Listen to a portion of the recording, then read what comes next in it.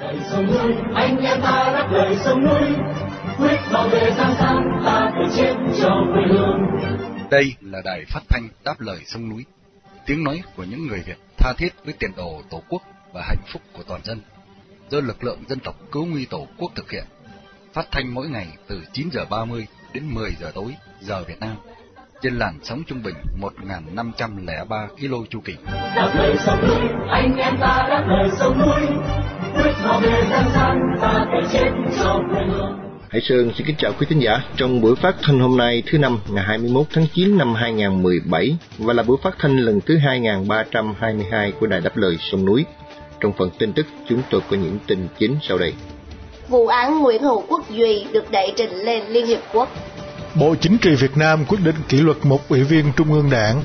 Đảng Cộng sản Việt Nam thừa nhận tệ nạn cấu kết thành các nhóm lợi ích.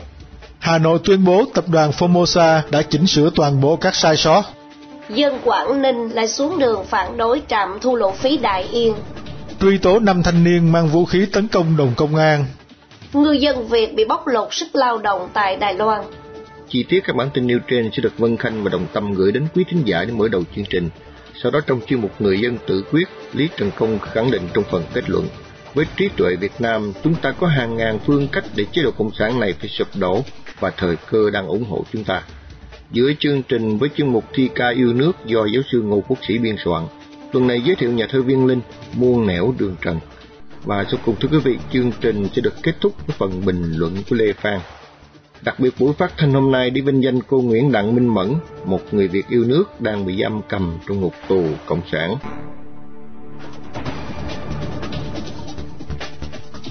Mở đầu chương trình, mời quý thính giả theo dõi phần tin tức sẽ được Vân Khanh và Đồng Tâm trình bày sau đây.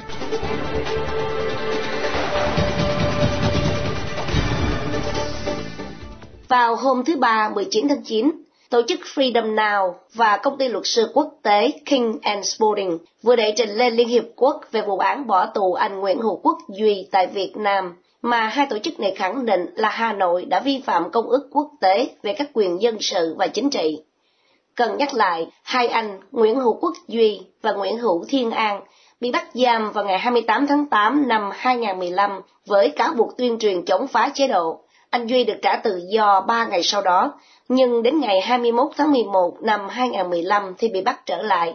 Sau 9 tháng bị biệt giam không gặp được thân nhân và luật sư, anh Duy bị mang ra xét xử vào tháng 8 năm 2016 và bị phán án 3 năm tù giam.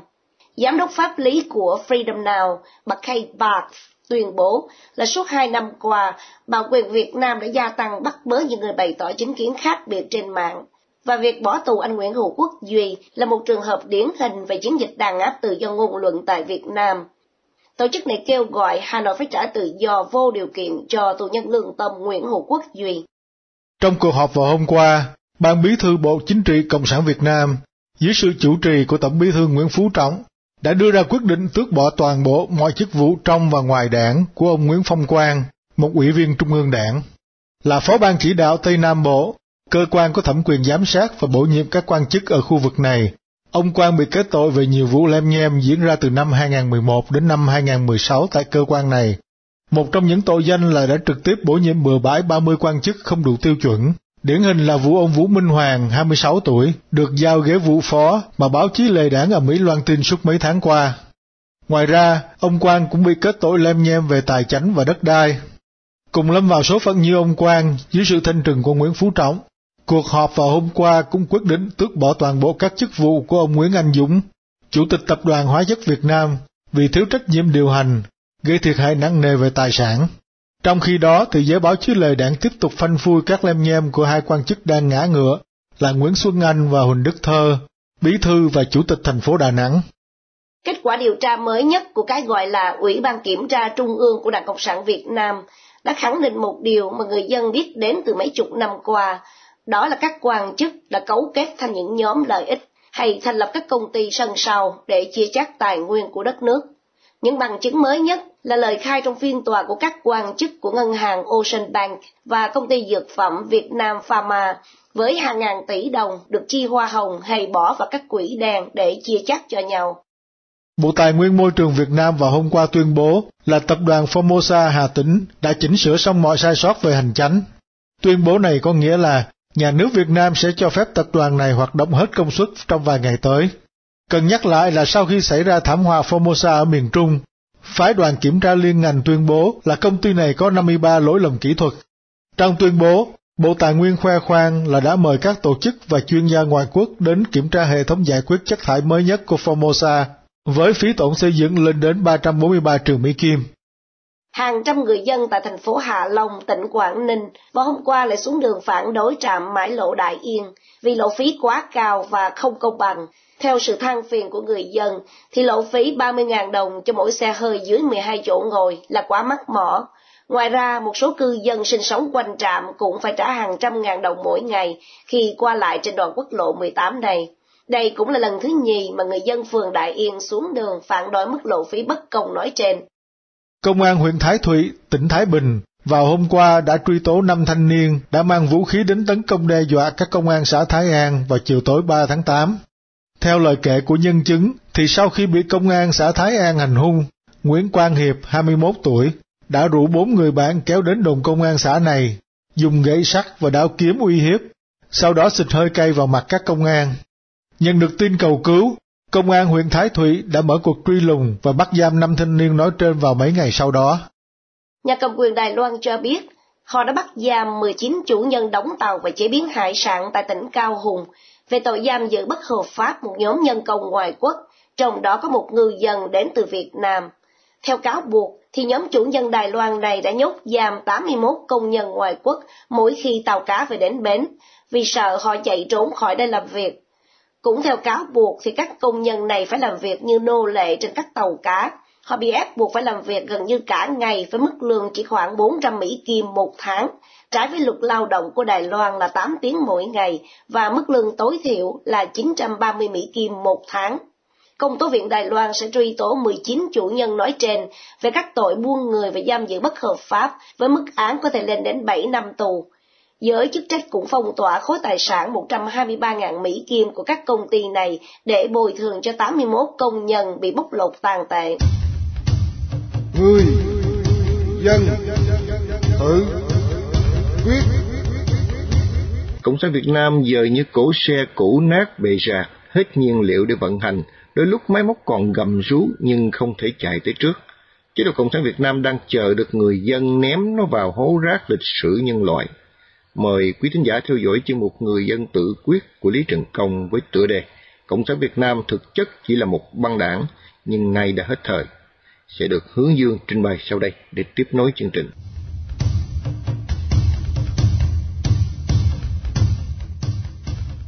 Ngày 19 tháng 9 năm 2017, hàng trăm tiểu thương chợ An Đông tại quận 5 Sài Gòn đã bãi thị và kéo đến Ủy ban Nhân dân thành Hồ để phản đối chính sách của ban quản lý chợ. Các tiểu thương chợ An Đông nêu ba yêu cầu đòi hỏi nhà cầm quyền phải giải quyết. Thứ nhất, chấm dứt hợp đồng thuê sạp có thời hạn, với lý do chợ An Đông là chợ truyền thống, không có chuyện đóng tiền thuê quầy sạp. Thứ hai là công nhận quyền sở hữu của các tiểu thương đối với những sạp bán hàng của họ bởi trước đây họ đã phải bỏ ra hàng chục cho đến hàng trăm lượng vàng để mua sạp. Giờ bỗng dưng nhà cầm quyền biến họ từ chủ nhân thành ra kẻ phải thuê mướn sạp. Và thứ ba là đưa số tiền 217 tỷ đồng mà họ đã đóng góp cho ban quản lý chợ từ cách đây 5 năm vào ngân hàng để dùng vào việc sửa chữa chợ và việc này phải được quản lý bởi người đại diện của các tiểu thương. Những gì mà các tiểu thương chợ An Đông đòi hỏi nhà nước Cộng sản phải thực thi đều hướng đến việc bảo vệ quyền lợi của dân theo pháp luật, cũng như thực thi quyền làm chủ của nhân dân. Tuy nhiên, với tình hình kiệt quệ tài chính và kinh tế lụn bại của nhà nước Cộng sản Việt Nam hiện nay, thì như lời một tiểu thương tham gia biểu tình nêu ý kiến rằng, lên ủy ban hiện người ta cũng nói để người ta xem xét lại thôi, chứ người ta chưa dám hứa hẹn gì hết. Chính sách của nhà nước này thì người ta chỉ nói cho qua chuyện thôi chứ không hy vọng người ta giải quyết được cái gì. Vâng, một nhà nước tham nhũng tận răng, thối nát tận não, tay thì cướp, chân thì chạy, làm bậy nhưng thích dùng bạo lực để trấn áp người dân, thì thử hỏi, ai còn dám tin vào một chế độ bất tín, bất nhân như thế? Một chế độ mà dung dưỡng cho cái xấu, cái ác, thì giống như căn bệnh ung thư nó di căn ra toàn cơ thể. chế độ đó sẽ phải chết trong đau đớn quằn quại. Ngày 28 tháng 4 năm 2017, khi tiếp xúc cử tri quận Ninh Kiều, Cần Thơ, bà Chủ tịch Quốc hội Nguyễn Thị Kim Ngân trả lời chất vấn về vấn nạn tham nhũng hiện nay trong bộ máy nhà nước do đảng lãnh đạo, rằng không có vùng cấm với bất kỳ quan chức nào từ trung ương đến địa phương. Nhưng khi cử tri hỏi về những vi phạm pháp luật của ông Võ Kim Cự, nguyên chủ tịch Ủy ban Nhân dân tỉnh Hà Tĩnh, đại biểu và là thành viên Ủy ban Kinh tế Quốc hội, thì nực cười thay, bà Ngân, chủ tịch Quốc hội, tự vả vào miệng khi trả lời rằng Ban Bí Thư đã quyết định thi hành kỷ luật đối với ông Võ Kim Cự bằng hình thức cách hết các chức vụ trước đó, trừ chức vụ hiện tại. Bà còn cho biết thêm, chức vụ hiện tại của ông Võ Kim Cự là Chủ tịch Liên minh Hợp tác xã, không có sai phạm. Khi ông Võ Kim Cự vào Quốc hội là với tư cách Chủ tịch Liên minh Hợp tác xã, do Mặt trận Tổ quốc Việt Nam giới thiệu. Thì ra là thế, người dân giờ mới hiểu, không có vùng cấm, có nghĩa là quan chức khoác áo đảng viên tự do thoải mái phạm tội, rồi khi trở thành tội phạm, thì đảng chỉ cần thay áo cũ đổi áo mới cho chúng, rồi đặt ngồi vào cái ghế khác cao hơn, có khi còn quyền lực hơn. Còn nếu như phạm tội mà tự cởi bỏ áo đảng như Trịnh Xuân Thanh, thì đầu đảng Nguyễn Phú Trọng, vì quyền lợi của đảng, quyết bắt cho bằng được về trị tội, bất chấp tổn hại đến lợi ích quốc gia, dân tộc. Thời gian gần đây, đầu đảng Nguyễn Phú Trọng tự tay đốt lò và sai đàn em là Trần Quốc Vượng, Ủy viên Bộ Chính trị, Bí thư Trung ương Đảng, chủ nhiệm Ủy ban Kiểm tra Trung ương Đảng, lùng sục các quan chức củi tươi lẫn củi khô, không thuộc phe cánh của mình, ném vào lò chống tham nhũng để tỏ ra mình quang minh chính đại. Củi khô thì có các cựu bộ trưởng Vũ Huy Hoàng, Nguyễn Minh Quang, Nguyễn Thái Lai và Bùi Cách Tuyến. Riêng Võ Kim Cự do có công lớn đem tượng vàng họ Hồ của Formosa về cúng cho Tổng Bí Thư, nên được ưu ái cách chức này nhưng lại bổ nhiệm ngay chức khác. Củi tươi như Nguyễn Xuân Anh, Huỳnh Đức Thơ, Đà Nẵng, Nguyễn Phong Quang, nguyên Phó trưởng Ban Chỉ đạo Tây Nam Bộ, Nguyễn Văn Hoàng, Chủ tịch thành phố Bà Rịa, Hồ Thị Kim Thoa, Thứ trưởng, và đặc biệt Đinh La Thăng, Bí thư thành Hồ, có chân trong Bộ Chính trị, cũng bị ném vô lò chỉ vì trước đây phò tá cho Nguyễn Tân Dũng. Người dân đặt câu hỏi là Nguyễn Phú Trọng chân ông ta có lấm bê bê không mà sao lấy đuốc để rê chân người? Câu trả lời là quan cộng sản chẳng có tên nào sạch sẽ đâu. Chẳng qua chỉ giỏi che giấu khi đương chức, chứ lúc về vườn thì thằng quan khác nó hạch tội ngay. Khi Nguyễn Phú Trọng còn giữ chức bí thư thành ủy Hà Nội, ông ta từng tham gia câu lạc bộ nghìn tỷ thất thoát khi trực tiếp giúp Siputra Hà Nội trốn thuế trên 3.000 tỷ đồng. Đổi lại, tập đoàn Siputra tặng bí thư thành ủy Hà Nội Nguyễn Phú Trọng một vali chứa một triệu Mỹ Kim và còn tặng thêm hai biệt thự cao cấp nữa. Người dân Việt Nam đang ẻ cổ đóng thuế để nuôi một băng đảng mafia cộng sản. Chúng ta đã mất quyền lực vào tay bọn tội phạm mặc áo vest đen với thẻ đảng trong túi, để chúng phá nát Việt Nam và dâng lãnh thổ cho ngoại bang, chỉ vì quyền lực và tiền bạc. Người dân chúng ta cần nhận thức rõ điều này, cùng đồng lòng hành động để thay đổi vận nước. Với trí tuệ Việt Nam, chúng ta có hàng ngàn phương cách để chế độ cộng sản này phải sụp đổ, và thời cơ đang ủng hộ chúng ta.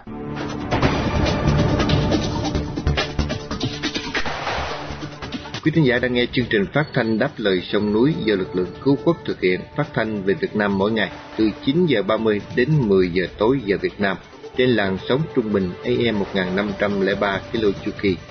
Thính giả tại Hoa Kỳ có thể nghe đài qua số điện thoại 1425 585 1550. Đài phát thanh buổi đầu tiên ngày 15 tháng 5 năm 2011. Chi phí mỗi buổi phát thanh là 500 Mỹ Kim do đồng hương khắp nơi đóng góp ủng hộ tài chánh xin ghi đáp lời sông núi và gửi về PO Box 612882 San Jose, Cali 95161 hoặc qua PayPal trong website radio đáp lời sông núi viết tắt.com đóng góp tài chánh được miễn trừ thuế lợi tức thưa quý vị.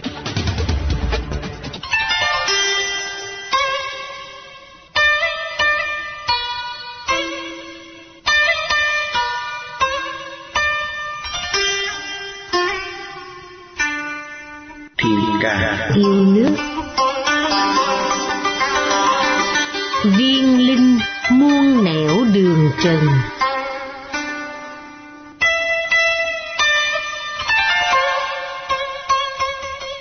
Viên Linh là nhà thơ và nhà báo, đã chủ trương tạp chí thời tập vào những năm trước 1975 và tạp chí khởi hành nối dài từ trước 1975.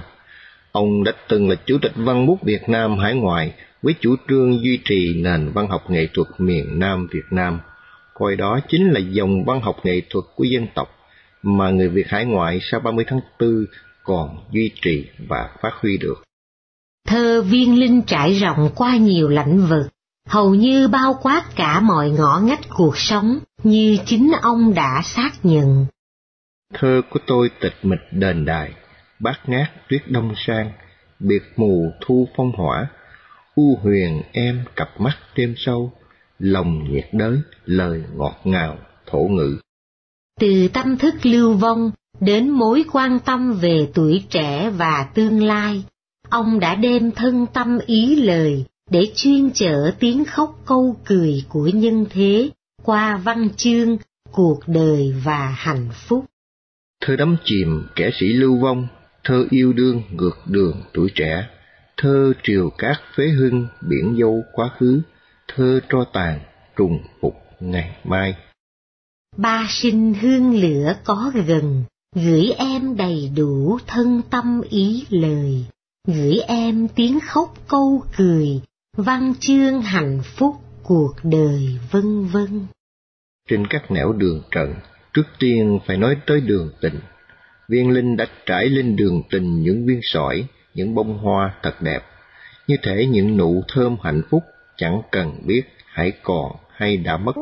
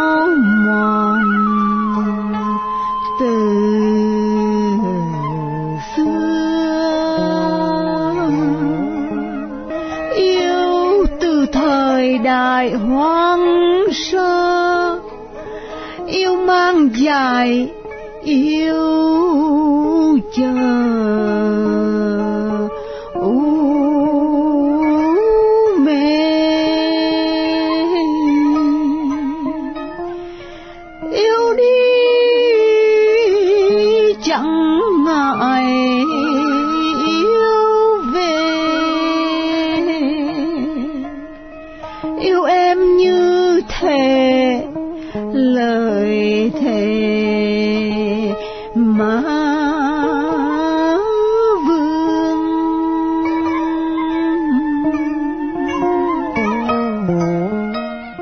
Tiếp đó, thơ viên linh cũng chuyên chở những cảm nghiệm mang tính triết lý về cuộc đời. Thường khi đêm về, nhà thơ đã vắt tay lên trán mà tra vấn, nghĩ về ý nghĩa đời người và người đời, rồi chỉ thấy những bóng hình mờ ảo. Nếu ôn như hầu đã cảm nghiệm, cái quay búng sẵn trên trời, mờ mờ nhân ảnh như người đi đêm, thì viên linh cũng thấy cuộc đời chỉ là cõi u minh, vô thường sắc, không theo triết lý nhà Phật. Trên ba mươi tuổi u lì, đêm về kéo cửa ngài đi kiếm mình. Cảnh đời một cõi u minh, cảnh tôi thấp thoáng, bóng hình những ai. Trong cõi u minh, nhà thơ chỉ thấy những oan khiên chồng chất, đói nghèo, chủ nghĩa, chiến tranh, đang nhận chìm con người xuống vực thẳm. Thế kỷ ta đang sống, chập trùng nhiều khúc quanh, khu vườn đời đây đó, càng ngày càng lăn nhanh. Mầm của mùa đói kém, cây của mùa đao binh, mầm của mùa chủ nghĩa, cây của mùa điêu linh. Từ đường tình qua đường đời, Viên Linh đã bước vào những nẻo đường đất nước, mang tâm trạng một kẻ lưu vong nhìn về tổ quốc. Nhà thơ đã giật mình nhớ tới Sài Gòn ngà ngọc, nay phải nhục nhã mang tên quỷ dữ. Hôm nay năm tận Sài Gòn, tôi nghe khiếp hải tâm hồn già nua, giật mình con quỷ ban trưa, tiếc mùa hoang lạc, hái chưa đủ hời. Chạy trốn quỷ dữ, thuyền nhân Việt Nam rời bỏ quê hương, tìm một phần sống trong 99 phần chết, làm cho nhà thơ ngạn ngào. Hồn vẫn ở La Đà Nam Hải, hồn còn trôi mê mải ngoài khơi, hồn còn tầm tả mưa rơi, tháng tư máu chảy một thời sương tan. Sau tháng tư đen, Viên Linh chỉ còn thấy bóng dáng quê hương chìm khuất trong mưa sương. Trần dần đã nhìn thấy quê hương mờ khuất, tôi bước đi không thấy phố thấy nhà, chỉ thấy mưa xa trên màu cờ đỏ. Thì Viên Linh cũng chỉ thấy quê hương rỉ máu qua làng mưa rơi trong lòng.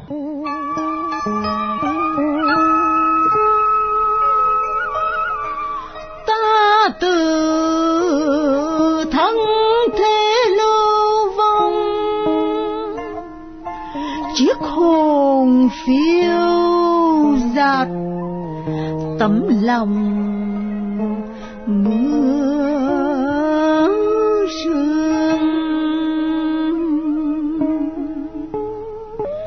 Cảm ơn trời đất muôn phương. Ta còn một mảnh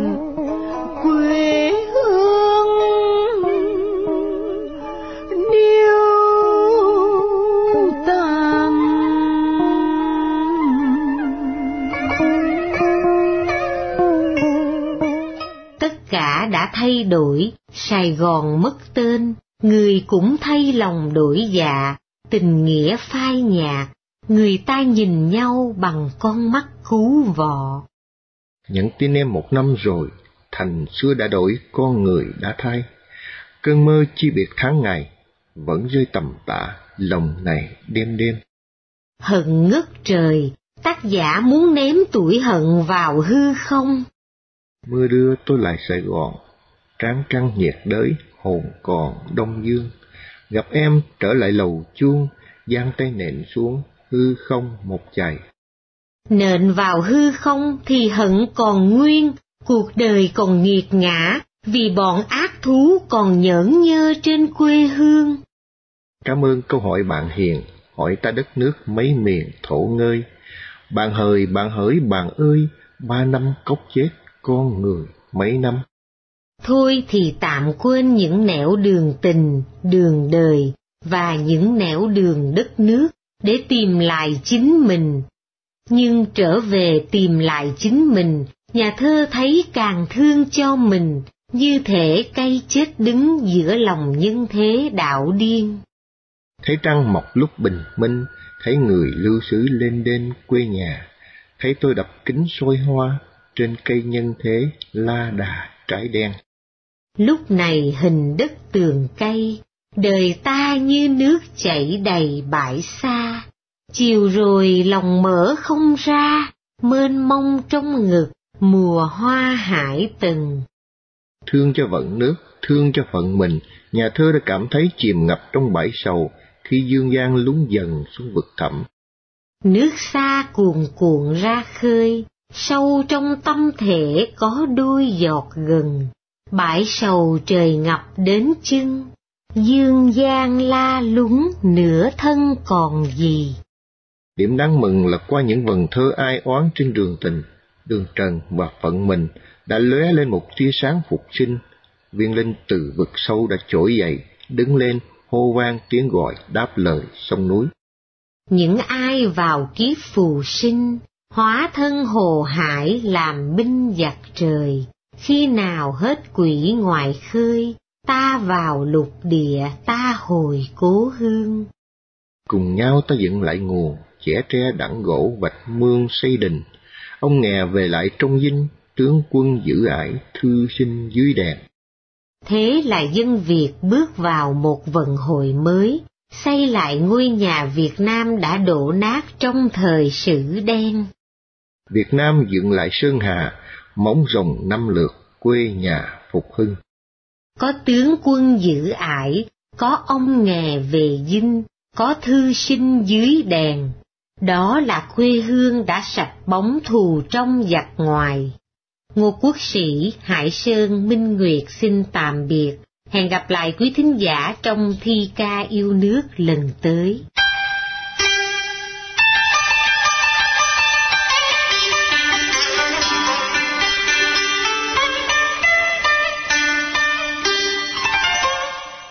Thông báo đổi giờ phát thanh. Thưa quý thính giả, để đáp ứng sự mong đợi của rất nhiều quý thính giả ở Việt Nam muốn được nghe chương trình phát thanh của Đài Phát thanh Đáp Lời Sông Núi sớm hơn, nay chúng tôi rất vui mừng thông báo đến quý thính giả kể từ ngày mùng 1 tháng 10 năm 2017, chương trình phát thanh của đài trên làn sóng AM 1503 km chu kỳ và các phương tiện truyền thông khác sẽ bắt đầu lúc 8 giờ 30 tối giờ Việt Nam thay vì 9 giờ 30 tối như trước đây. Mong quý thính giả đón nghe chương trình của đài lúc 8 giờ 30 tối và xin cho chúng tôi những ý kiến của quý vị. Trân trọng thông báo và kính chào Đằng Giang, quản nhiệm đài. Đài phát thanh đáp lời sông núi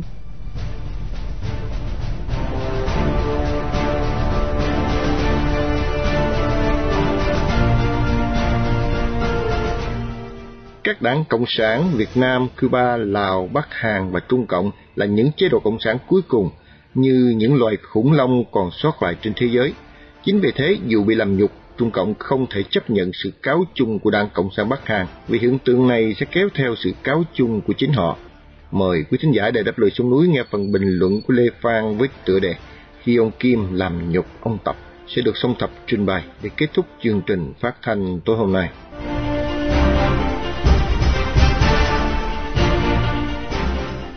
Lần thứ nhì trong bốn tháng qua, Kim Jong-un đã dám làm nhục Tập Cận Bình của Trung Cộng, lãnh tụ duy nhất trên thế giới có đủ sức mạnh và quyền lực để bóp cổ nền kinh tế của Bắc Hàn, hầu dẫn đến sự bại vong cho chế độ Bình Nhưỡng. Kim Jong-un biết rằng khi thực hiện vụ thử hạt nhân hôm Chủ nhật 3 tháng 9 sẽ làm Bắc Kinh nổi giận trong khi ông Tập chuẩn bị tiếp đón các lãnh tụ của Brazil, Nga Xô, Ấn Độ và Nam Phi trong khối BRICS ở thành phố Hạ Môn bên Tàu. Vụ thử bom hạt nhân tạo nên một cơn địa chấn 6.3 độ Richter, làm rung chuyển một vùng thuộc tỉnh Cát Lâm gần biên giới với Bắc Hàn. Trung Cộng cũng sẽ theo dõi khu vực biên giới có phóng xạ hay không. Vụ thử hạt nhân hôm 3 tháng 9 là chỉ chưa đầy một tuần lễ sau khi Kim cho phóng một hỏa tiễn bay ngang qua Nhật Bản. Đây là một hành động tính toán để làm nhục trực tiếp Tokyo và gián tiếp là đồng minh Hoa Kỳ của Nhật. Cũng hôm Chủ nhật đó, Tổng thống Donald Trump đổ thêm dầu vào lửa, ngầm ý nói vụ thử hạt nhân này là một sự làm nhục chính là cho Trung Cộng. Ông Trump viết trên tweet, Bắc Hàn là một quốc gia đạo tặc vốn đã trở thành một đe dọa và một mối bực tức cho Trung Cộng. Trung Cộng đang tìm cách giúp đỡ nhưng không có bao nhiêu thành công. Ngay cả sự sỉ nhục mà Bắc Hàn gửi đến Trung Cộng, trong lúc Trung Cộng chuẩn bị tiếp đón các lãnh tụ trong khối BRICS có thể khiến Trung Cộng áp dụng một trong những biện pháp hữu hiệu nhất mà cho đến nay họ chưa bao giờ sử dụng đối với Bình Nhưỡng là chặn việc cung cấp xăng dầu vào Bắc Hàn.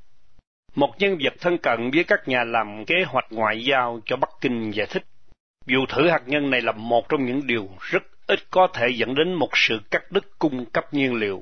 Theo cách nhìn của Bình Nhưỡng, thì cả ông Trump lẫn ông Tập đều là cọp giấy.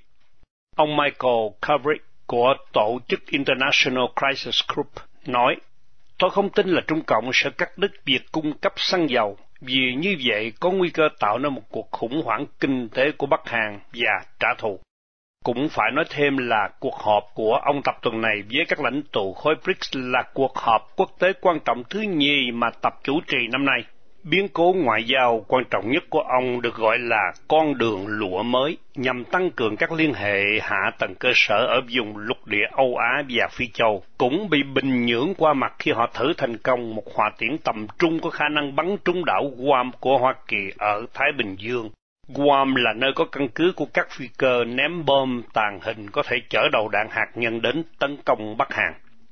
Ngày hôm tối Chủ nhật 3 tháng 9, phần chính của bản tin trên đài truyền hình Trung ương Trung Cộng đã dành hơn một nửa thời lượng nói về cuộc họp thượng đỉnh BRICS, trong khi chỉ nhắc đến vụ thử hạt nhân của Bắc Hàn ở một mẫu tin ngắn vào cuối chương trình. Tuy không nhắc đích danh Bắc Hàn ở Hạ Môn hôm Chủ nhật, nhưng ông Tập nói, khủng bố, đột nhập tinh tặc và những đe dọa khác đã làm một bóng đen che phủ địa cầu. Giáo sư Thời Ân Hoàng, chuyên gia về ban giao quốc tế tại Viện Đại học Nhân dân ở Bắc Kinh tin rằng sự liên tiếp khiêu khích này là bằng cớ, quyết chí và tự tin của lãnh tụ trẻ tuổi Bắc Hàn. Giáo sư nói, Kim Jong-un không lo ngại về điều mà Trung Cộng và Hoa Kỳ có thể làm. Những lệnh cấm vận ngày càng rộng và khắc nghiệt của Liên Hiệp Quốc có thể đau đớn, nhưng ông cũng biết là ông đang đạt được mục tiêu của mình là có được một hỏa tiễn hạt nhân hoạt động tốt. Dưới áp lực của Hoa Kỳ, Trung Cộng có những nhượng bộ lớn về Bắc Hàn hết lần này sang lần khác. Trung Cộng không còn bao nhiêu cách để đối phó với Bắc Hàn nữa. Đối với ông Tập, sự nhức đầu và bực bội này là điều ông phải thường xuyên chịu đựng vì ông Kim là một người đặc biệt khó chịu và bản thân ông Tập cũng không có cảm tình với lãnh tụ trẻ của nước láng giềng này. Ông Max Borges, người làm đại sứ Hoa Kỳ ở Bắc Kinh cho đến khi Tổng thống Donald Trump lên nắm quyền, nói với chương trình Today của hệ thống BBC là ông Tập ghét cây, ghét đắng Kim Jong-un, nhưng sẵn sàng dung túng nhà độc tài này vì sự ổn định của bán đảo Triều Tiên. Tập kinh sợ sự bất ổn ở bán đảo Triều Tiên. Ông Max Borges kể lại, các thành ngữ chửi rủa tệ nhất mà tôi từng được nghe Tập Cận Bình dùng là để tả ông Kim Jong-un. Tuy không ưa Kim, nhưng Trung Cộng tôn thờ sự ổn định, nên Trung Cộng sẵn sàng dung túng sự bất định về chương trình hòa tiễn của ông Kim ngay nào mà bán đảo Triều Tiên có ổn định về kinh tế và chính trị. Trung Cộng không muốn một cuộc khủng hoảng mà kết quả là dân tị nạn Bắc Hàn sẽ đổ qua biên giới vào nước Tàu. Tập Cận Bình chắc chắn không muốn giải pháp mà theo đó Hoa Kỳ và Nam Hàn có thêm ảnh hưởng ở bán đảo này. Bởi thế, ông Tập sẵn sàng để cho tên nhóc đó làm nhục mình.